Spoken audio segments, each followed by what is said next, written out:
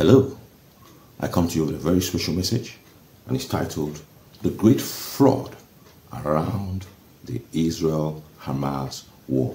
This fraud is being perpetrated by Arab leaders, the West liberal leaders, and of course, the United Nations. We're going to start by talking about the origin of this war. It would amaze you to realize that the Israel Hamas war is actually a fallout from the war in Ukraine between Russia and Ukraine. As of September 2023, the mobs in Europe and America had, were beginning, had turned against the West's participation, sponsorship, and funding of the war against Russia by Ukraine. Even the American Senate, it had become a boiling point, and uh, it became a great concern to the liberal leadership of the West. So a situation had to be created to divert the attention of the mob from this war so that they could continue to sponsor that war in Ukraine.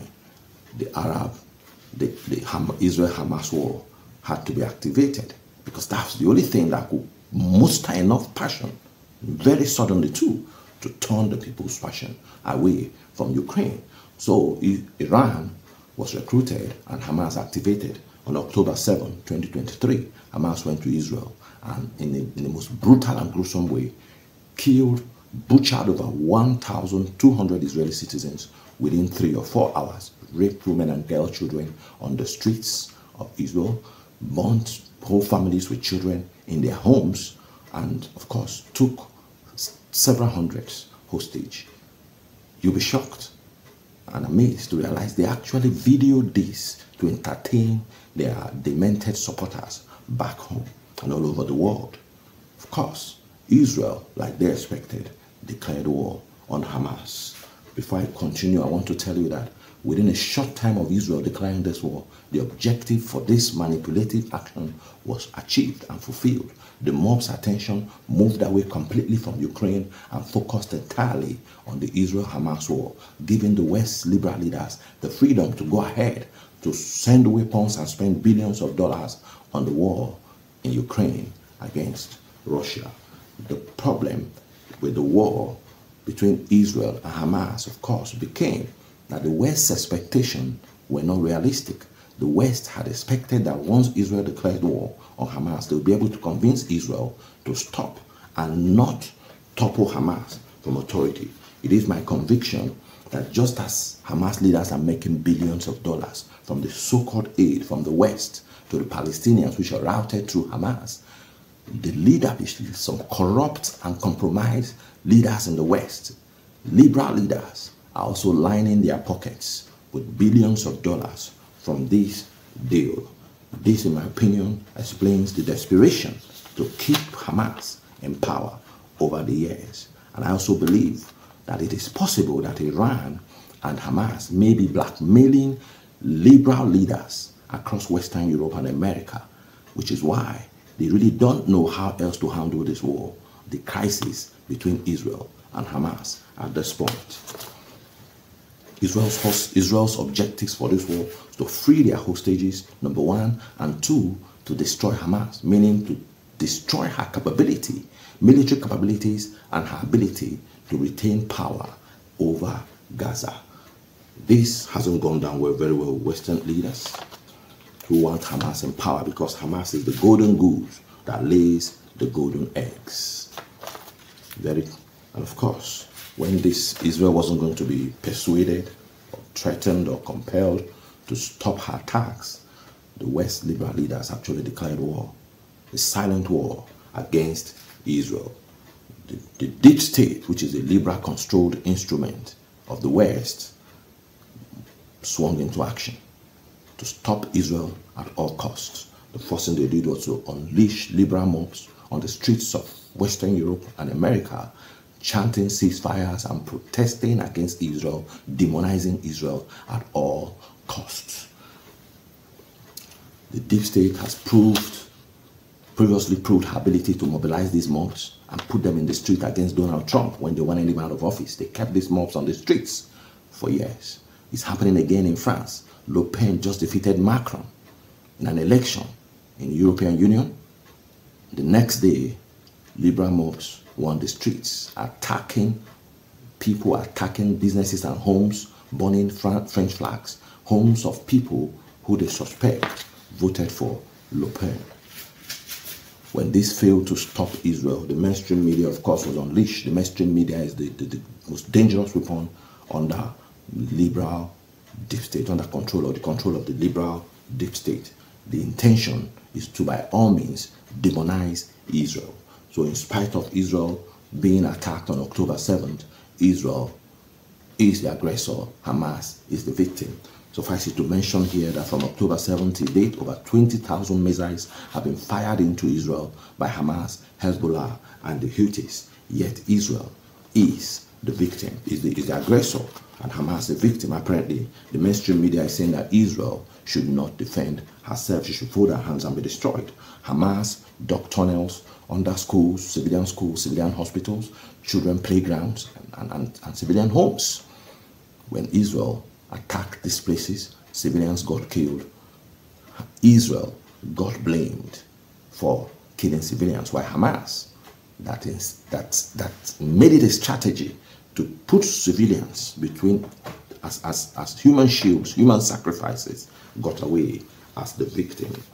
As a matter of fact, I believe that the mainstream media has gone unhinged and have brought me journalism to its lowest in generations and um, it, it, it's, it's really a pain to see CNN reporters actually participated in the, participating in the conflict between Israel and Hamas and feeling the most pain at every victory that Israel achieves in the battlefield. The ICC rage, of course, was activated also by the deep state.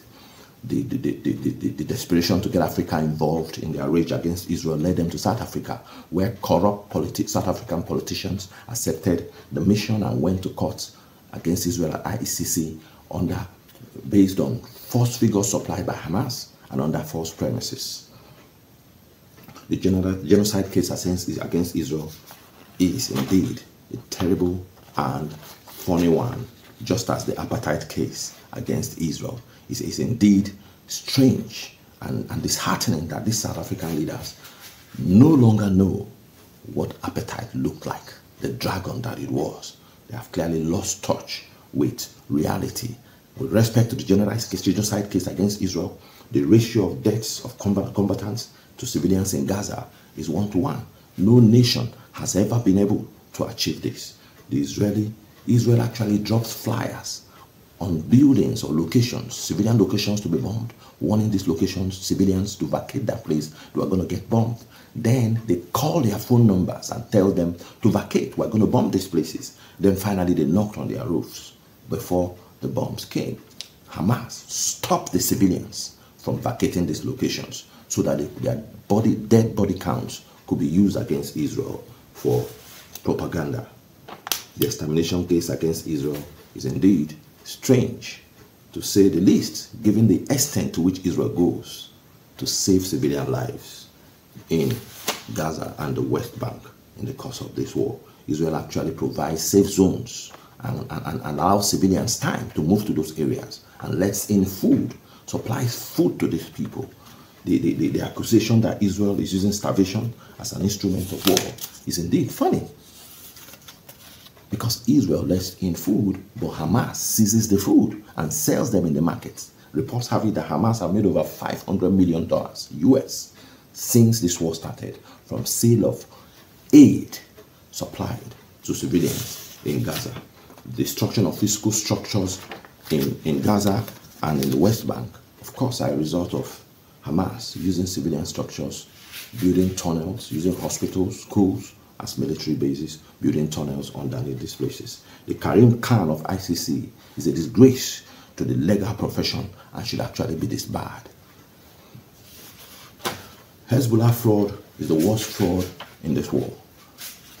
So Islamists have gotten the West into such a corner that the West has accepted that non-government players can be armed and be attacking nations from their home countries, yet their home governments and the home armed forces will not bear any responsibility.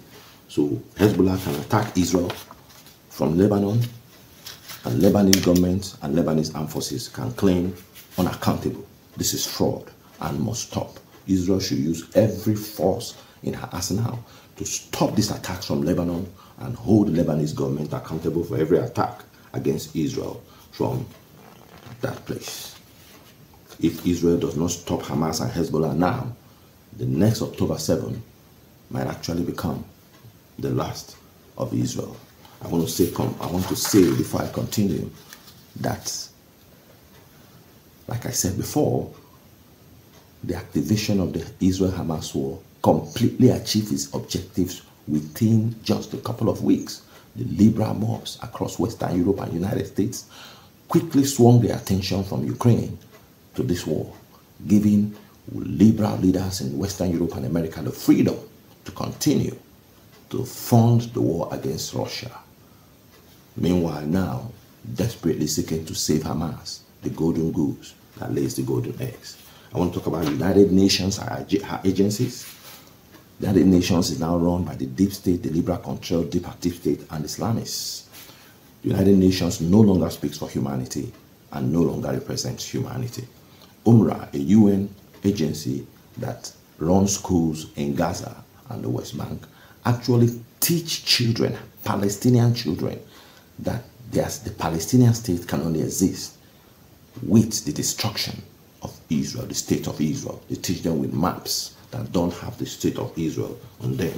UNRWA members participated in the October 7 attack on Israel. UNRWA staff on social media are very actively declaring their willingness and uh, to determination to destroy Israel.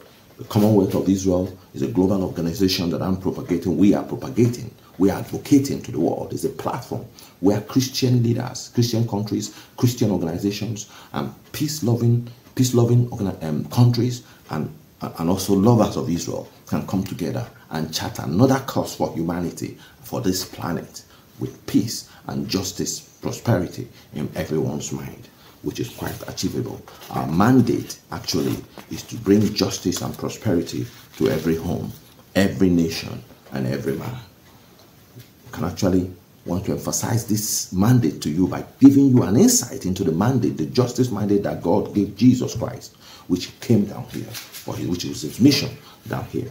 Isaiah chapter 42, verse 1 to 4, New Living Translation declares, If you look at my servant whom I, whom I strengthen, he will, he's my chosen one who pleases me. I have put my spirit upon him. He will bring justice to the nations. He will not shout or raise his voice in public. He will not crush the weakest reed or put out a flickering candle. He will bring justice to all who have been wronged. He will not falter or lose heart until justice prevails throughout the earth. Even distant lands belong beyond the sea will await his instructions. This is the mandate that God gave Jesus Christ.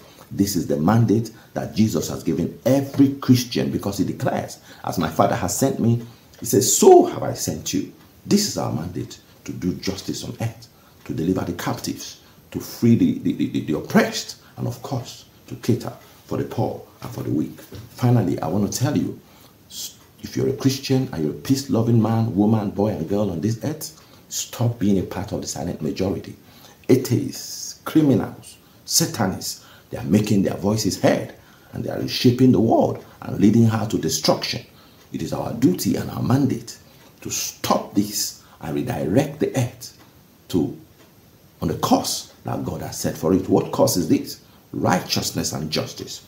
So we must pick up and stop being a part of the silent majority. Jesus never wanted to be a part of any silent majority. When he got to the temple and he saw that the temple had been turned into a market, he didn't keep quiet like most other Jews who hated it and who saw it kept quiet, the silent majority. He went and got a cane and actually caned them and chased them out of the temple. He said to them, My father's house should be called a house of prayer and not a den of thieves. This is what we should be doing. Stop being a part of the silent majority. If you're listening to me and you're not born again, and, and you want to be a part of this great move of God, these end times, I implore you, give your life to Jesus Christ. And if you want to, repeat after me saying aloud, Lord Jesus, I believe you are the Son of the living God. You came from heaven to the earth in the flesh. You suffered. You were crucified on the cross of Calvary. You died and you were buried. On the third day, you resurrected for my salvation. Thank you, Lord, for I'm born again. I pray for you now. If you said this prayer, I love you so much. You are welcome to Zion. I pray for you now. Lord, I bless these ones with your grace. I bless them with your anointing. They are pillars in your house. They grow in bounds in the knowledge of thee. In the name of Jesus. You said to me, stretch out your hands. You heal the sick, perform notable miracles, and even raise the dead. If you're watching me and you require any of these in your body, your family, your business, your nations, take it in Jesus' name. You are blessed. In Jesus' name. Amen. Hallelujah. Thank you, Lord. In Jesus' name. Amen.